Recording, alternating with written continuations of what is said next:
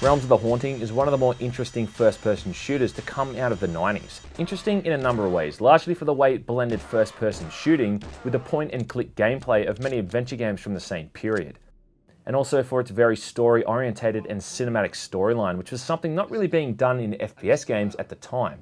There are powers working here that would ensure that you fail in this quest. And desire you humiliated and dead beside. Developed by Gremlin Interactive, it was released in 1997 for the PC exclusively. You take on the role of a dude named Adam Randall, venturing into a mysterious haunted house as he searches for clues about his father's death. Turns out there's a lot more here going on than meets the eye, and Adam soon finds himself caught up in a huge battle between the forces of good and evil. Visually, this looks like a game made in 1997 through and through. The environments are built with the game's 3D engine, while sprites are used for almost everything else. That doesn't mean it's bad, in fact it's still quite a good looking game with a great art style. There's a lot of detail packed into the environment and there's also a great variety in textures from area to area. The lighting is moody and atmospheric and it's still pretty damn impressive when you walk into a darkened room and flick on a light switch or light a candle. This is definitely a spooky game in terms of its visuals and plot and I know I'm not the only one who had a few sleepless nights this game in their younger years. Being that there's such a huge focus on the story, you can't play for more than 5 or 10 minutes without having to sit through a cinematic that often goes on just as long. Characters are introduced rapidly in the first few chapters of the game, and they've all got their own motives, which you'll have to discover as you play through the game. Who are you? What do you want?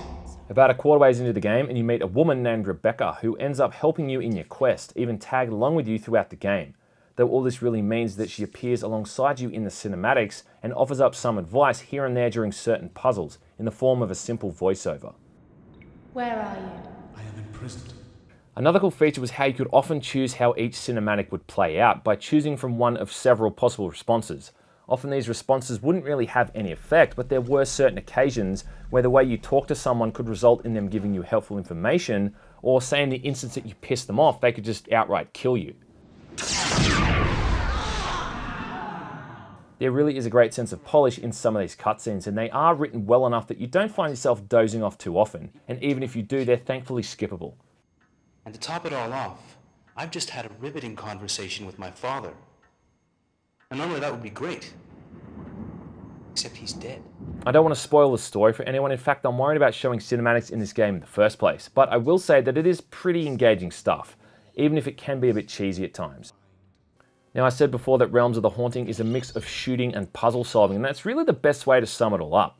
When you're not shooting at something, you're clicking at something in the game world, trying to unlock a door or figure out the way forward. Initially, about 90% of the house is locked and unreachable, but as you move through the story, it slowly unlocks new areas, and you'll soon find yourself filling in all corners of the map as you explore every little nook and cranny. The way it all flows is pretty seamless, and the overall design and layout isn't too hard to come to grips with. The game even gives you a map for most locations anyway, so navigating shouldn't be too tricky. I'm not going to lie though, this is a hard game. Some of the puzzles aren't entirely obvious and you quite often have to read and investigate every little thing you pick up for your inventory screen, as it's often the only way to figure out where or how to use a particular item. You can switch between a hard and easy mode, which will make using items a lot easier, as it will simply use the correct item in the correct place when required, the game is broken up into 20 or so chapters, and I should mention that it can often move on to the next chapter regardless of whether or not you've picked up all the necessary items you'll need for the ensuing chapters. It's entirely possible to do certain things out of order and then just be totally lost and confused. Also, a lot of the time when you finish a chapter, the game requires you to backtrack for a good 5 or 10 minutes to a new area that you've just unlocked. You're always constantly having to remember where you've been and keep it in the back of your mind when you're trying to figure out where to go next. There's also a fair bit of platforming to be done as well, aside from a few mazes the player has to navigate to find a series of items. So overall, it's suitably challenging stuff, and will definitely give most people a real run for their money. Certain areas also only give you a limited margin of error for puzzle solving, and will outright kill you if you screw up. But I don't think there was ever a time where the puzzle was difficult to the point that I was completely stumped, and you can save and load your game at any time throughout the inventory screen, which is pretty damn forgiving when you think about it. The further you get into the game, the harder the puzzles get, and also the stronger the monster and enemies become. Early on, you're really only up against a couple of enemy types that kind of slowly plod towards you for a melee attack, giving you a huge window to kill them. There's all manner of monsters and demons that come after you, including these weird looking men in black type guys with dual pistols and glowing eyes. Adam starts out with a pistol himself before getting his hands on a sword, shield, and shotgun. From there, you also get some more inventive magical based weapons like a staff that charges up to fire off damaging blasts of energy, a blunderbuss, and even eventually a magic wand. These magic type weapons all regenerate their ammunition over time when you're not using them, which is handy because ammo for the more traditional weapons is always in short supply, along with healing potions. Aiming is a matter of rotating your view with the keyboard and then clicking on the enemy with the left mouse button. You can freely move the crosshair around the screen as you see fit. It's not shooting in the traditional sense, but it does give you a lot more freedom and accuracy with firing weapons. Now, whilst these weapons are fun to use and all look and sound really cool, the issue is that they're just not that effective, as is combat in general, to be honest. Enemies aren't really that much of a threat, in fact, you can easily run right past them about 90% of the time. Some of the enemies later in the game can fire projectiles at you, but most of the time they'll be dead long before they're close enough to be any real threat. But there are times when you do have to kill them to progress, and it's at these moments where the shooting just feels flat.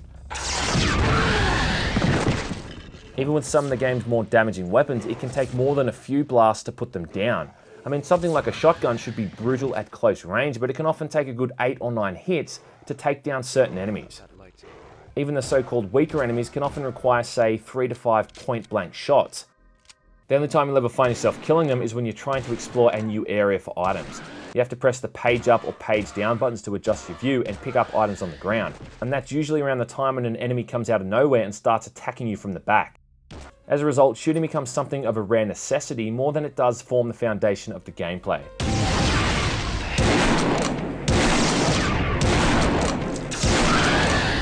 But having said that, it's really hard to find reasons to not recommend this game to people. I guess one of the biggest factors is how archaic the controls and visuals are. On that note, you're not even able to change the controls from their default scheme, which kinda sucks. But these are the kind of things you can get used to over time. Also, another thing that might turn off certain players is the constant amount of cinematics in the game. You will spend, you know, 20 minutes playing through a level and having a good old time, but you will also spend another 5 or 10 minutes after that watching a really long cinematic. If you're not invested in the story, then you're not going to be too interested in, well, you know, anything the game has to offer. Skipping these is all fine and dandy, but the problem with that is that Adam will often talk about what he has to do next in the middle of them. And if you skip them, you obviously have no clue where the hell you're supposed to go. Look, I don't understand what this is all about. This you must know. Overall, though, the positives really outweigh the negatives, and for all its annoyances with confusing level design, Realms of the Haunting is still a very entertaining and superbly written action, horror, and adventure game, with some clever puzzles and inventive weapons. I picked up my version on goodoldgames.com and it runs pretty much flawlessly in DOSBox with very little sound or graphical errors whatsoever. The thing about sites like goodoldgames.com is that they offer gamers easy and working access to some of the greatest games of yesteryear, games that people missed out on for various reasons and should definitely check out. And at the end of the day, Realms of the Haunting is one of those games. Oh, we still have the Shrive. We'll ask him to be back for that. Yeah. Can't wait to see his tan.